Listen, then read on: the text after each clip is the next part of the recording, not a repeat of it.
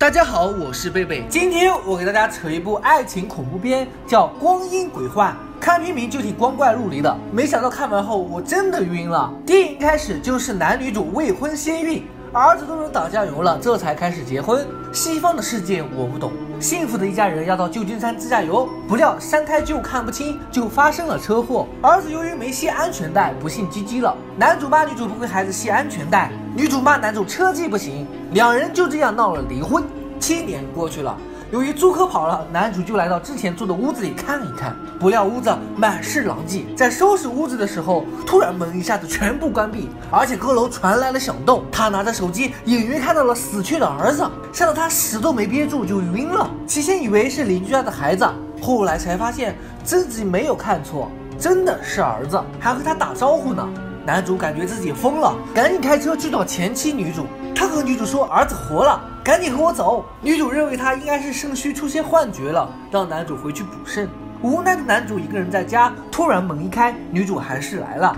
他拉着女主就要去阁楼上看儿子，谁知儿子自己出来了，还戴着个面具叫女主妈妈。女主接受不了，认为男主是在和她搞恶作剧，一巴掌把男主的脸打得和馒头一样肿。男主赶紧找了一个灵媒，灵媒说鬼待在一个地方不走，说明还有未完成的心愿。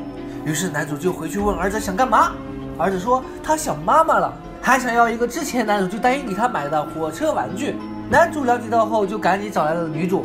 女主看着自己的儿子，真的不可思议，太感动了。但是要抱儿子的时候，却根本碰不到。两人就这样一起照顾儿子。但是不愉快的事情还是发生了，两人应该是火锅吃多了，又提起车祸的事情，就开始吵架。正在这个时候，屋子里的玻璃全部炸了，原来是儿子生气了。他想让男女主重归于好，于是他们手拉手开始一起陪儿子玩耍，做了很多浪漫温馨的活动。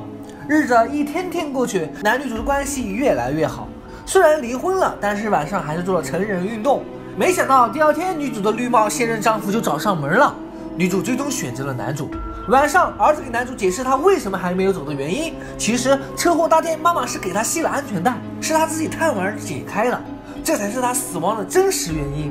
男主如梦初醒，很后悔。这天，儿子在玩男主买的火车，突然说自己真的坐过一回火车。男主一琢磨，知道是儿子在去另一个世界的时候。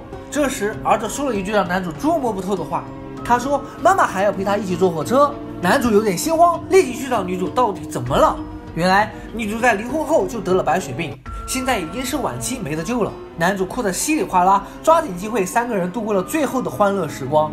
女主不行了，躺在病床上抱起儿子，他们一起去了另一个世界。从此，男主家再也没有过动静。